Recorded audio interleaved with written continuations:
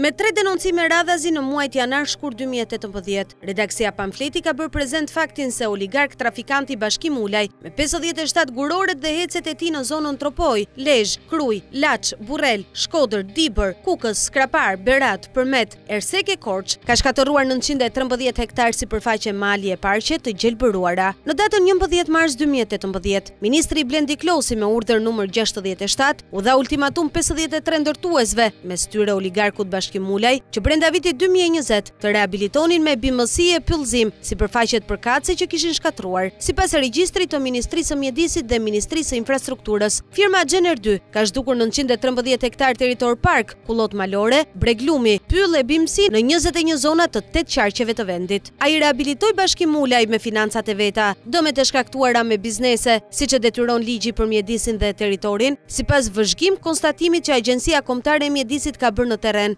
rezulton se në zonat e shfrytëzuara për gurore, argjilë e HEC-e nga firma Gener 2, nuk është rehabilituar me gjelbërim as një metër katror sipërfaqe, mos u çuditni, por tre ministra, financat, Infrastruktura e Mjedisi po përgatisin një projekt vendim special për financimin nga buxheti i shtetit të rehabilitimit të sipërfaqeve që ka dëmtuar Bashkim Ulaj me bizneset e tij. Kjo ndërhyrje rehabilituese do bëhet me diktat nga partnerët e huaj, pasi krimi fizik mjedisor që ka bërë Bashkim Ulaj është në habitatet natyrore që Organizata Botërore e Mjedisit i ka cilësuar zona të paprekshme. Mirëpo Berisha, Meta dhe Rama, me vendime të paligjshme klienteliste dhe oligarku i tyre Bashkim Ulaj me fadroma e mina, i kanë shkatërruar në 913 hektarë sipërfaqe dhe tani, shqiptarët duhet të paguajnë rehabilitimin e tyre, por ligji detyron që këtë rehabilitim ta financojë e kryejë vetë kompania dëmtuese. Sipas burimit nga Ministria e Financave, skandali vazhdon më tej pasi vlera e paracaktuar pesëmbëdhjetë milionë euro për këtë rehabilitim të dëmeve që ka bërë Bashkim Ulaj, do t'i jepet si koncesion paguar po oligarkut Bashkim Ulaj. Pra, mendja e kryeministrit ka shkuar deri në këtë arbitraritet sa mikun personal Bashkim Ulaj do ta paguajë me pesëmbëdhjetë milionë euro taksa publike për të rehabilituar dëmet që ka shkaktuar Bashkim Ulaj kur duhej ta çonte para drejtësisë për shkatërrim. Kujtojmë se po nga ministri Klosi, Oligarkut Bashkim Ulaj i është dërguar edhe një rikujtesë e urdhrit numër gjashtëdhjetë e shtatë datë njëmbëdhjetë mars dy mijë e tetëmbëdhjetë për planet punime e rehabilitime në gurore, të firmosur prej tij dhe ministrit Gjiknuri. Në nenin tetë të urdhrit,